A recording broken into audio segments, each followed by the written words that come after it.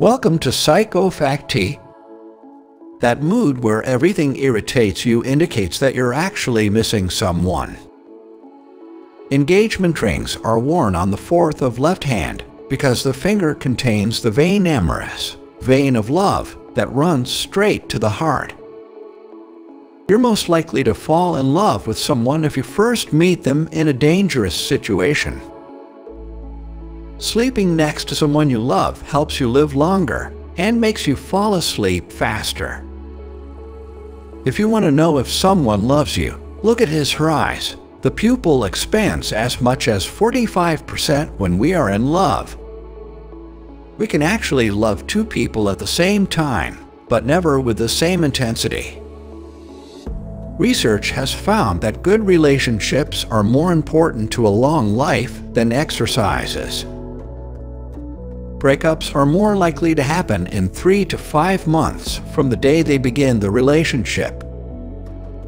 When you really become close to someone, you can hear their voice in your head when you read their texts. Holding your loved one's hand can help alleviate physical pain as well as stress and fear. Love is like swallowing hot chocolate before it has cooled off. It takes you by surprise at first, but keeps you warm for a long time.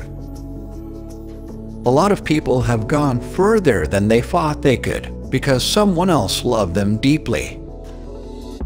A person who truly loves you will never let you go or give up on you, no matter how hard the situation is. Being in a relationship is not about dates or showing off. It's about being with the person who makes you happy. Being deeply loved by someone gives you strength, while loving someone deeply gives you courage. Anger lasting for more than three days indicates that you're not in love. You don't marry someone you can live with. You marry the person who you cannot live without.